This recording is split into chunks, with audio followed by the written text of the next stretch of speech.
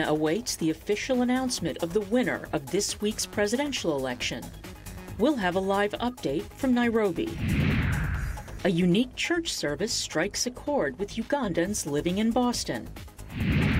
And in our Music Maker segment, we'll groove to one of South Africa's hottest bands and hear from two of the group's members. Africa 54 starts right now. Good evening, I'm Esther Gitu. At in for Vincent Makori, who will join us shortly from Nairobi. This is Africa 54. Security is tight in Kenya on Friday as voters anxiously wait for the announcement of the winner of the nation's presidential election. Police have positioned extra forces at the airport in the western city of Kisumu, but Nairobi, the capital, is largely quiet with little traffic. Many businesses are closed. Tuesday's vote marked opposition leader Raila Odinga's second attempt in four years to defeat incumbent President Uhuru Kenyatta.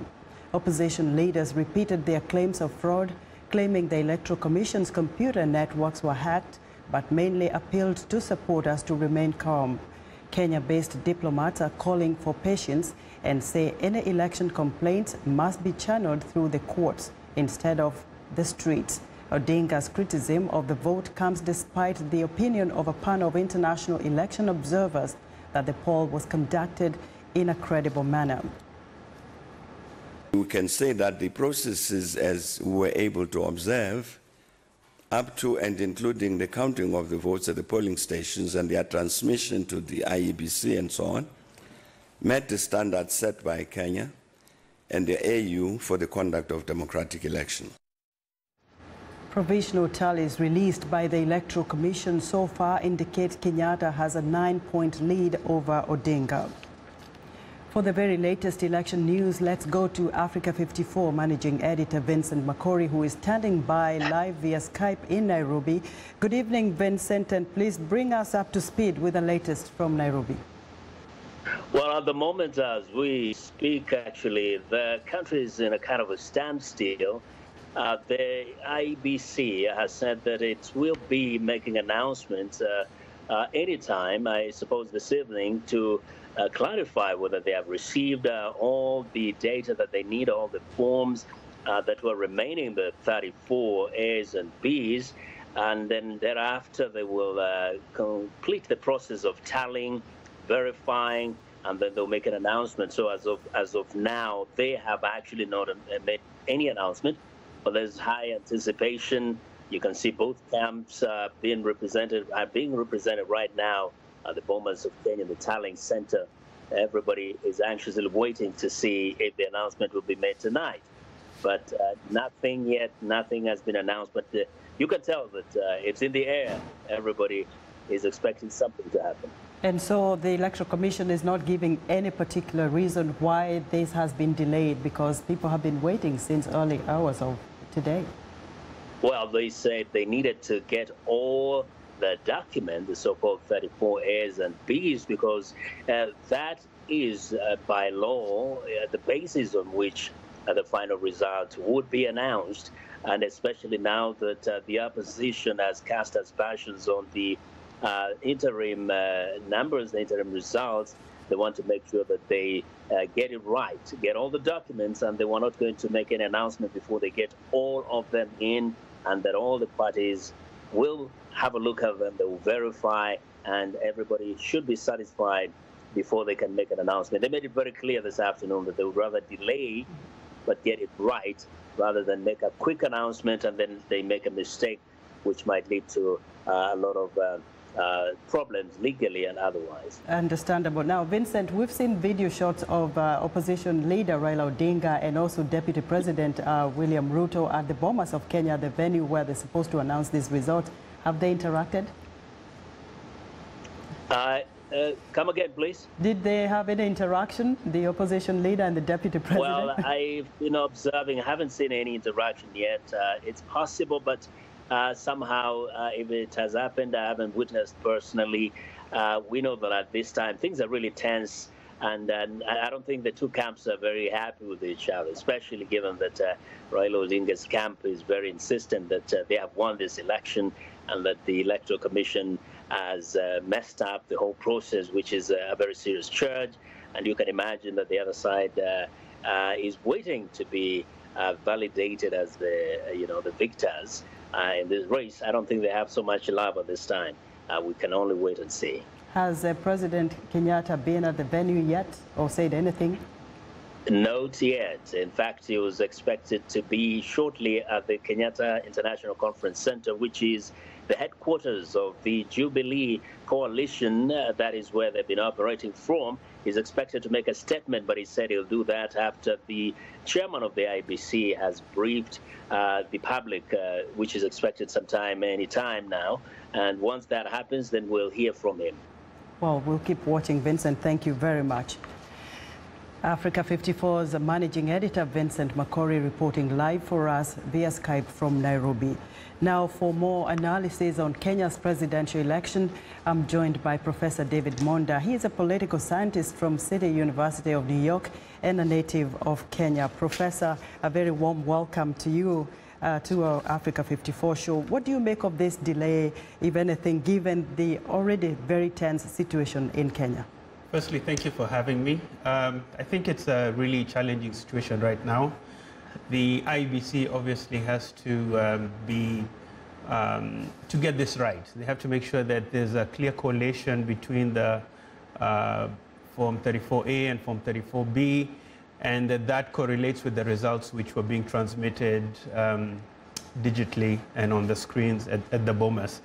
Uh, it's very tense also because there seems to be some uh, conflict between the results that the opposition is producing, the NASA coalition, and that uh, the IEBC is producing. And of course, Jubilee Alliance is caught somewhere in between.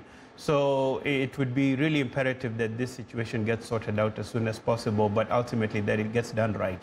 Now, you know, you talk about that being a very tense situation, but the man on the spotlight today is the chairman of IEBC, Mr. Wafula Chebukati. Yes. How should he handle this announcement? I think he should take his time. And I would also say that it's not only the chairman, but the whole commission. Uh, the integrity of the commission is in question. Part of the challenge we've had with this election is the commission has tended at certain points to uh, produce conflicting information. For example, in relation to the, um, the issue of hacking. At one point, the chairman said that there was an attempt to um, hack the system and later his deputy came ahead and contradicted him and said there was no hacking. And then the, a day later, one of the commissioners came out and said that there was no hacking, so there's no need to look for a hacker. So you can see that with these conflicting um, uh, announcements from the commission, it really creates a high level of uncertainty. The second issue is in relation to the transmission of the tallying of what was actually uh, produced in the field um, there seems to be a mismatch between what was actually being transmitted on the screens and a direct follow-up. In other words, a synchronized direct follow-up of the Form 34 A's and B's. The opposition NASA coalition saying that there's a gap in between those two um, um, processes and they think there's some room for some um, um, monkey business in between. Now, you know, the opposition coalition today has called on the Electoral Commission to give it access quote, to its computer servers, saying it would accept the results of the vote based on the figures recorded there. Is this also constitutional? I think that creates really uh, major problems because um, if the opposition gets access to the servers, then the Jubilee coalition will also want to get access to the servers, and you can see the kind of constitutional and legal problems that would create. It really then creates a situation where uh, the public, uh, within the public domain, ultimately the Kenyan voter has real doubts about exactly who's telling the truth because you have a shouting match between the two. Ultimately, the Independent Electoral and Boundaries Commission is supposed to be independent. So we need to have a level of ethics and integrity and trust with the results that are being uh, tabulated digitally and also in paper form with the paper trail. Now, Professor, briefly, if, what is the biggest challenge for President Uhuru Kenyatta if he takes oath of office in terms of reuniting the divided Kenyans? Uh, at, at, this point, it will be for him to reach out to the, the opposition and show the nation clearly that you know, he's a president for all. At this point, the way things look like, uh, the NASA coalition seems like it will petition the results Um, and then we, are going to have a, a, court process going on because they have seven days to petition the results from the declaration of the results. And then we'll have a court process within 14 days. The Supreme Court will have to come up with a decision.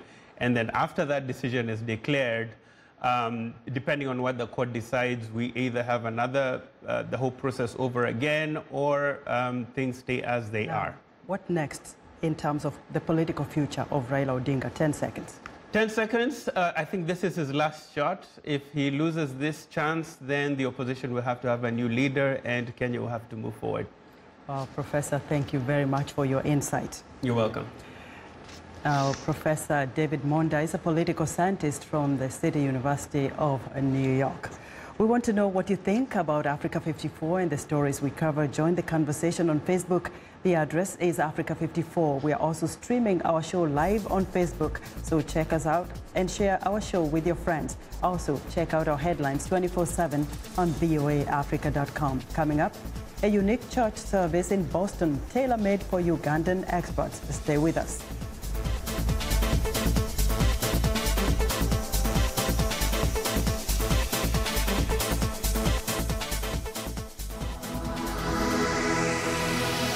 My name is Carla Babb, and I work the Pentagon Beat. That access helps me to do better stories. Every day, it's my responsibility to collect all of the defense news. It keeps our VOA viewers informed. I get to travel all across the globe. Anything that's defense related and how to protect and keep people safe, that's where I'll go.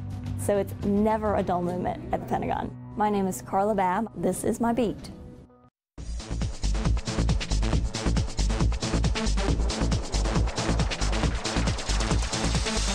Welcome back to Africa 54. Spiritual practice and meditation are important regardless of where someone lives, whether they live in a remote village in Uganda or in the United States.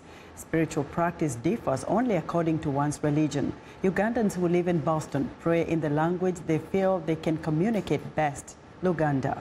It's the same language NBS reporter Solomon Serwanja and VOA's Paul Ndiho and cameraman Godfrey Badibai chose as they joined a special service entirely dedicated to the community of Ugandans in Boston. It is Sunday morning here in Boston, and several churches are packed to capacity with Ugandans worshiping and praising God. Church is a meeting place to share testimonies and fellowship with one another in a spirit of togetherness as Ugandans living abroad.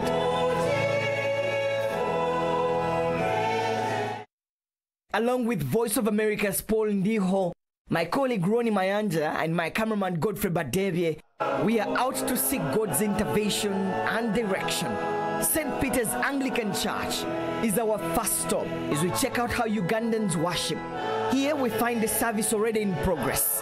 The service is conducted entirely in Luganda, including hymns and sermons.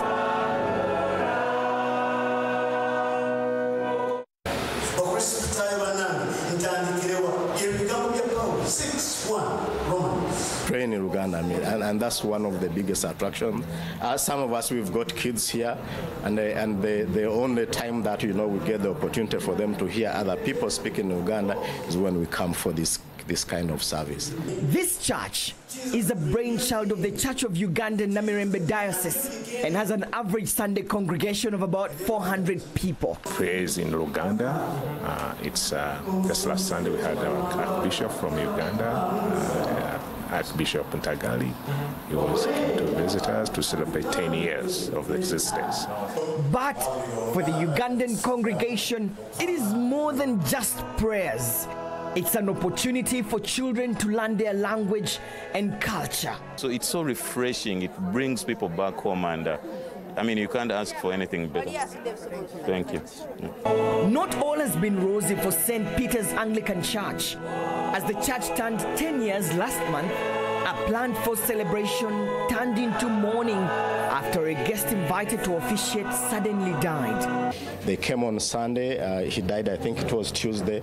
So we had to, to, mobilize, you know, funds to take back his body. And the entire community, you know, came together and we managed to, you know, to raise funds to take his body back to, to Uganda. From the Anglican service, we move to St. Mary's Cathedral, a Catholic church with an average congregation of about 800 people. Mass here is also conducted in Luganda, but unfortunately we find the mass in conclusion. Uh, for me personally, uh, this is my home, this is my parish, but I'm not assigned here. But still, as a priest, a Catholic priest, I'm assigned to any parish in the Archdiocese of Boston. Mm -hmm. So I hope to use my skills, my studies from school, uh, to engage the community, to unite the community, and to be with them when they're happy and also to be with them when they're sad.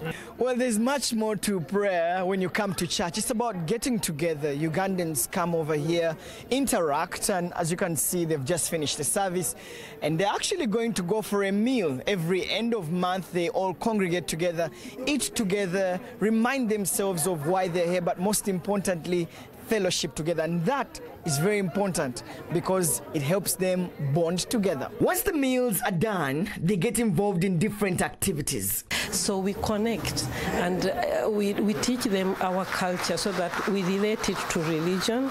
So they pick pieces here and there relating culture and religion. And it has really helped us because the culture here is different and we can say they don't have culture here. This is a mixture of people from all over. But here, this is the nucleus of us. For the more than 7,000 Ugandans living in Boston, America feels like home away from home, with the comfort of these Sunday fellowships that nuts away their homesickness, which often sets in. Solomon Serwanja, NBS, in Boston, Massachusetts.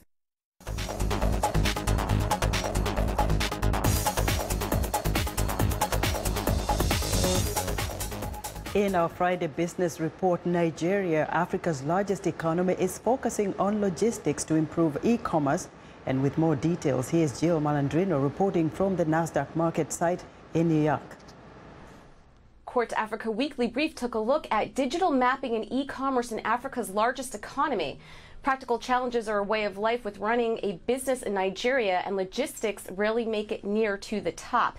Instead, some of the most common complaints are around problems with power shortages, talent recruitment, and corruption. But poor logistics infrastructure is a downside that's a debilitating part of doing business in Nigeria, particularly in Lagos, the nation's commercial hub. It means even the most basic home delivery business in Nigeria requires a very hands on local approach.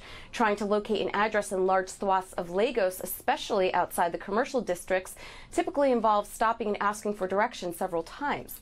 The lack of comprehensive mapping has been a challenge for modern local businesses in e-commerce like Jumia and Konga and ride-sharing companies like Uber and Taxify. But over the past year especially, digital mapping technology like Google Maps, for example, have become viable alternatives to help fix that problem. Google's map service has proven popular among young Nigerians, and last year, the service's user numbers in Nigeria doubled.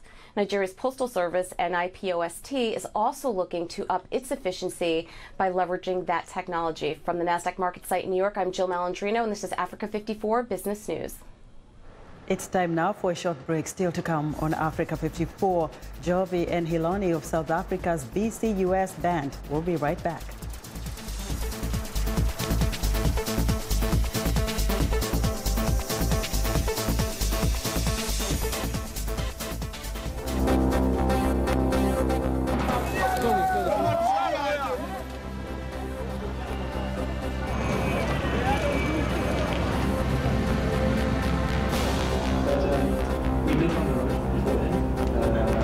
I do not believe that they knew my, my nationality when they when, when, when they when they caught me. Um, they obviously would have really preferred me to have been British. This would have been first prize.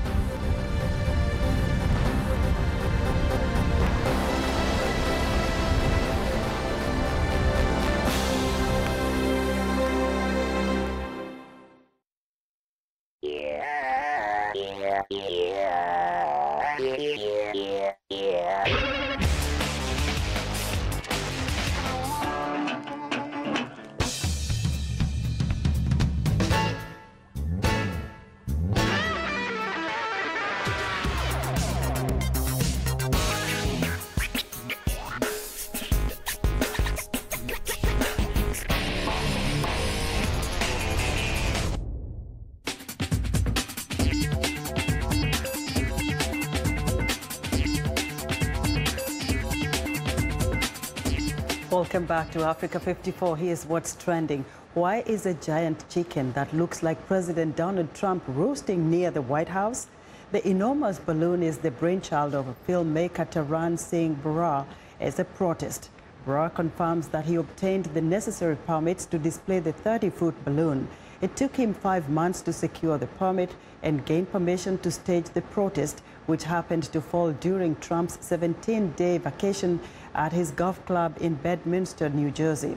The inflatable Trump chicken made its first appearance in the U.S. in April during tax demonstrations. Next up, artificial intelligence robots are turbocharging the race to find new drugs for conditions like nerve disorder, ALS, or motor neuron disease. The robots' complex software ran through powerful computers work as tireless and unbiased super researchers. They analyze huge chemical, biological, and medical databases alongside reams of uh, scientific papers far quicker than humanly possible, throwing up new biological targets and potential drugs. If the research goes on to deliver new medicines, it would mark a notable victory for AI in drug discovery, bolstering the prospects of a growing batch of startup companies focused on the technology. And finally, hungry hounds in Egypt's capital are enjoying a new doggy delivery service inspired by falling imports of their usual canned food. Omar Tharwati, a political writer, started the new service from his kitchen after realizing that the meals he prepared for his own pooches might appeal to a wider audience. His home-cooked meals for dogs delivered right to the door helped meet a new demand created by a shortage of foreign currency and an increase on tariffs of hundreds of products. Tharwati's business, while small, aims to combat the rising prices of imported dog food after the devaluation of the Egyptian pound late last year. And that's what's trending today.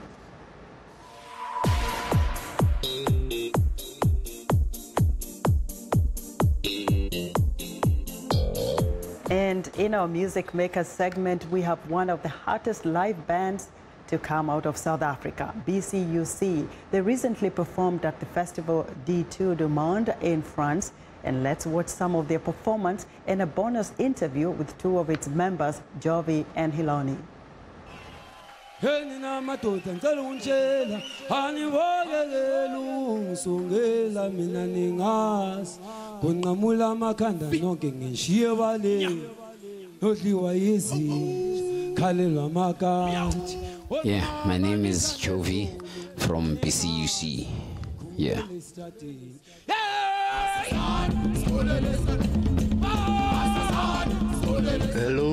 I'm Hloni from Soweto, Johannesburg, South Africa.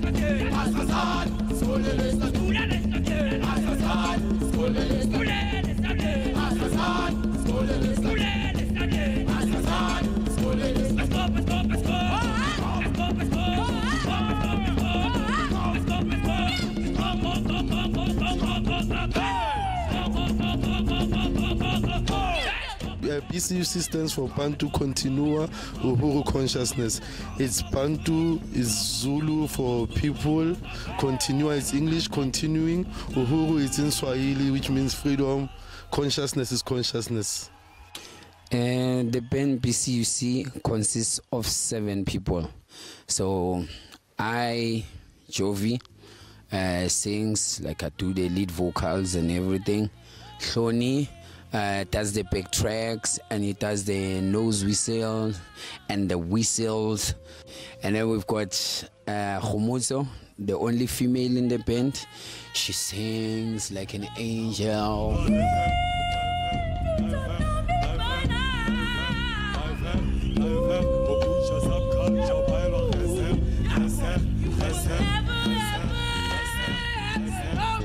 And then we've got uh, Chicks. Chixie plays congas. No, and we've got uh, Lucha. Lucha plays the big drum with one stick and he raps too. And we've got Skumbuzo. Skumbuzo plays the traditional uh, Zulu drum.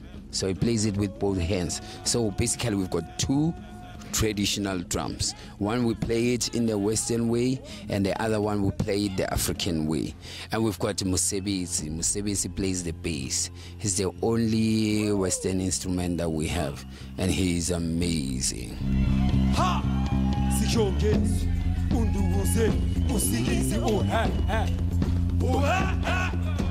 Musical warriors means like um, because the world of politics can be so drowning and overwhelming. You know, we, cho- we choose to use our music as a tool of uniting people away from political beliefs, away from religious beliefs, away from cultural differences belief. You know, with our music, we're making sure that we're creating a place where everyone can meet there and celebrate and think about what makes us common than think about what makes us different. Because we believe that with our music we show that we've got a lot of things that are in common than three four five things that are different. And with our music we don't have time to talk about what went wrong. We've got more time to talk about solutions the how can we go forward from here uh, make sure you check out more of BCUC and listen to the music and research about South Africa. We don't live with lions, please.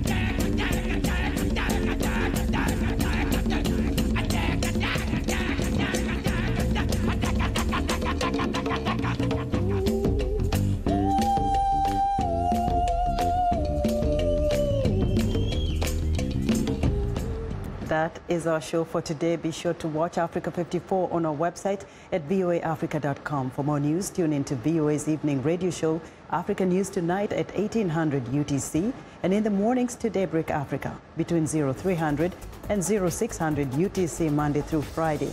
Thanks for watching, and a very good night from Washington.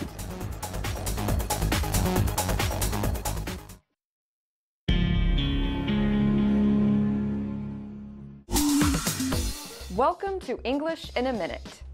A cannon used to be a common military weapon.